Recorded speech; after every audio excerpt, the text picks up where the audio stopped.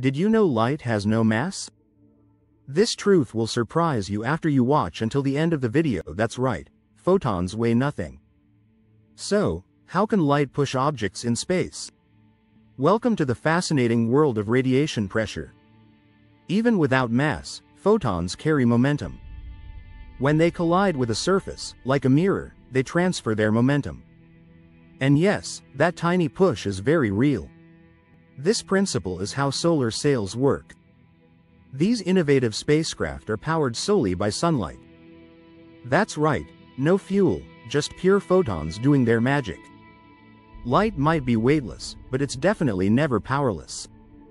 Imagine the possibilities of harnessing this force. If you found this as intriguing as we do, subscribe for more amazing science explanations. Join us in exploring the wonders of the universe.